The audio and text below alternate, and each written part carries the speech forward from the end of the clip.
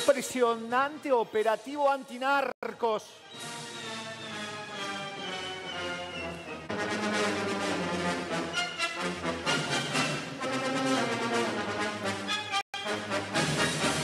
Ahora, siguen los allanamientos. Hay narcos demorados.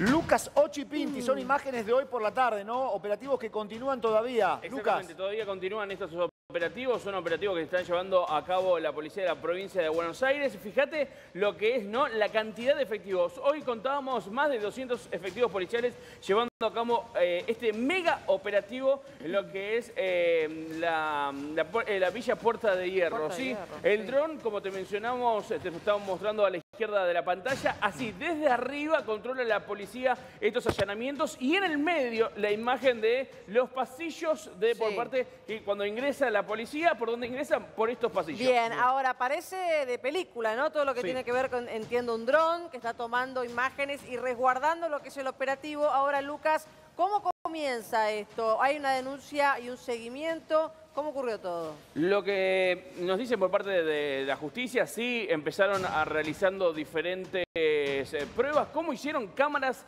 eh, de seguridad en el lugar y cámaras ocultas, de las dos cámaras, ¿sí? Las cámaras ocultas, como fueron personal policial que estaban sin identificaciones, ingresaron a comprar drogas a estos pasillos y es ahí donde empezaron a registrar los diferentes movimientos de cómo estos, eh, estas personas, estos delincuentes, estos narcos, vendían droga dentro de estos pasillos. Bueno, es ahí cuando a través de esta investigación, en el día de hoy la policía decidió allanar estos allanamientos que te mostramos en vivo, el ingreso del personal policial, eh, más de 1.300 dosis de cocaína recolectada al momento. Así entraba el personal policial a uno de los lugares más temibles eh, de la zona oeste de la provincia de Buenos Aires, Puerta de Hierro.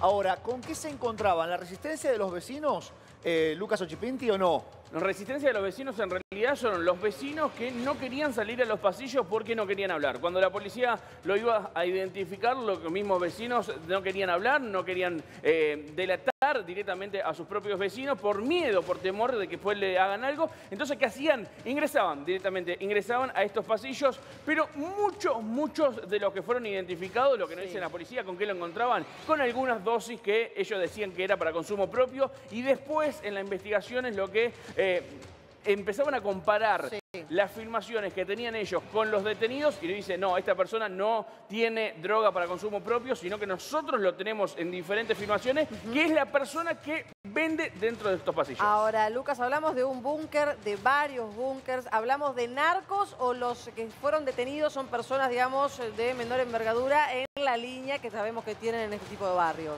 No, a ver, eh, es de todo tipo, ¿sí? Hoy justamente preguntábamos al personal policial si en las investigaciones daba que estas personas eran de acá adentro. ¿Qué nos dicen? Son diferentes personas que vienen de diferentes, eh, de diferentes partes a vender acá, pero los búnker, en específicamente donde tenían la droga, estaba almacenada acá. Fíjate el ingreso que estamos viendo en ese sector de la pantalla, el ingreso de los efectivos policiales de cómo llegaban hoy al lugar. Bien, esta es la cámara de uno de los drones que utilizó la policía. Me parece impactante eh, y muy importante poder contarles y mostrarles a ustedes cómo se trabaja eh, no es una imagen, una escena de un operativo eh, de Estados Unidos, ¿no?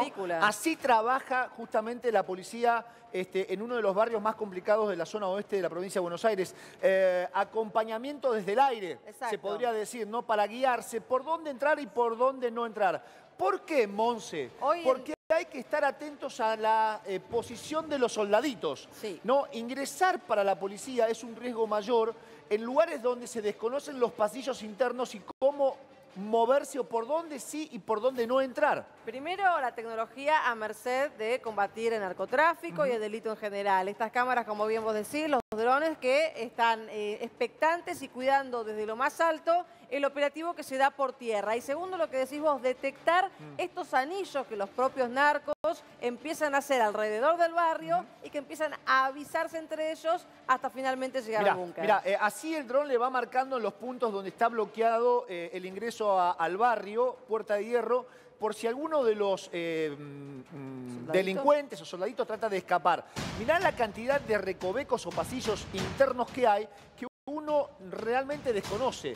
La policía desconoce por dónde se entra y por dónde se sale, más allá de la calle habitual, la pavimentada. Este es uno de los pasillos que te muestra este dron justamente una posibilidad de escape por parte de aquellos que forman parte de estas bandas de narcotraficantes, ¿no? Menores o no, bueno, pero bandas al fin. Ahí está, y eso es lo que preguntaba a Lucas, que salió a chequear información, porque esto obviamente todavía sigue el operativo. Estamos viendo parte de lo que fue hace un rato, cuando todavía eh, era de día, empieza a caer la noche, pero sigue el operativo. Y yo preguntaba esto, ¿son realmente narcos, personas de peso en, en esta banda delictiva, o si son los de menor envergadura que por lo general, Dani, son los que primero caen cuando hay este tipo de redadas. Mira, entrar por un pasillo eh, como este que estamos observando no es para cualquiera. Tenés que ser conocedor. Tenés que saber por dónde entrar. Equivocarte, errar el camino, puede costarle la vida a un efectivo policial. ¿Cómo dirás vos? Es exagerado si van eh, muchos efectivos. No, no. Te puede costar la vida porque los chicos que están acá se juegan la vida permanentemente. Exacto. ¿Eh? No, no tienen un respeto o un valor sobre el uniformado. Por eso es importante el apoyo aéreo con drones. Esto no se daba mucho tiempo atrás. ¿Eh? Es lo nuevo que ha integrado la policía, Monse. Exacto. Y además, en lo que respecta a, a los además, policías... Además, la nitidez, Monse. Mirá la claridad con la que uno va. Es, es, terrible. Es, casi HD como la pantalla que estamos viendo y reproduciendo todos los videos. Ahora, vos fíjate lo siguiente.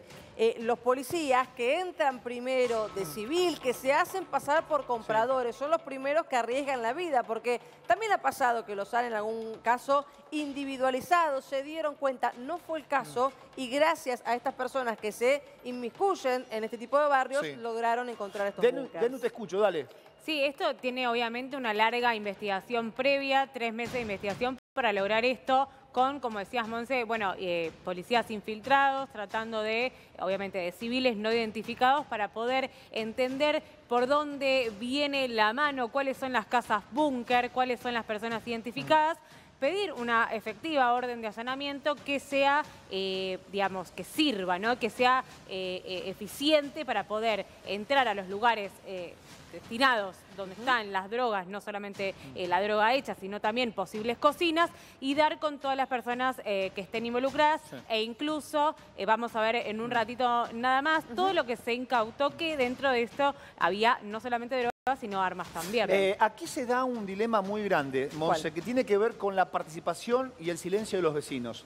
Participación cuando uno llama eh, sin dar detalles de nombre y apellido, eh, sin dar detalles de la casilla o lugar donde se reside dentro de Puerta Hierro para denunciar al que vende droga, al que vende Paco, el Paco que arruina la vida de nuestros pibes. Totalmente. Porque lo que se vende acá generalmente es Paco. El residuo, el residuo, el residuo. La misma porquería de la porquería. Eh, la que mata a nuestros pibes en cuestión de días, de segundos.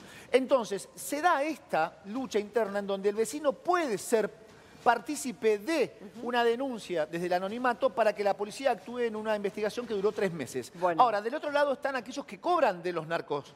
¿eh?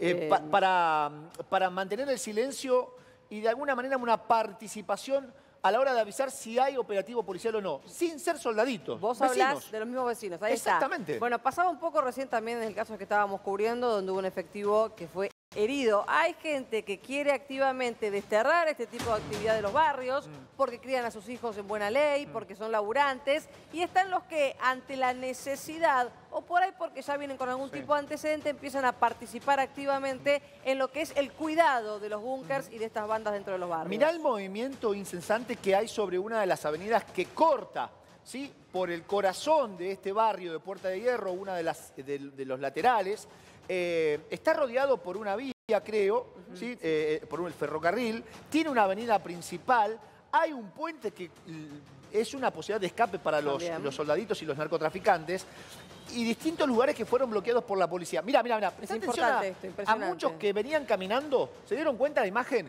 Muchos que vienen caminando y al ver la policía se da media vuelta y regresan sobre sus pasos. Porque saben que algo grueso se viene dentro del barrio. Cuando empieza a ver, mira, el movimiento de los grupos motorizados con armas largas, están vaticinando lo que se va a venir. Una redada, algún tipo de operativo en el interior del barrio y hay gente que dice es el momento de resguardarse porque no en este caso tengo entendido, Denny, pero hay en otros casos donde obviamente es a bala y a sangre. Sí, sí, seguro. Eh, eh, funciona así, de hecho van preparados de esa forma tanto los policías y las personas que, que están adentro los esperan también eh, con todo lo que se pueda para repeler eh, la situación. Muchos de los que se quedan, ¿no? Porque recordemos también que eh, si bien es una investigación que duró tres meses y que termina o empieza con esto que estamos viendo ahora en pantalla, es cierto que mucha gente ya, voy a decirlo mal y pronto, se tomó el palo.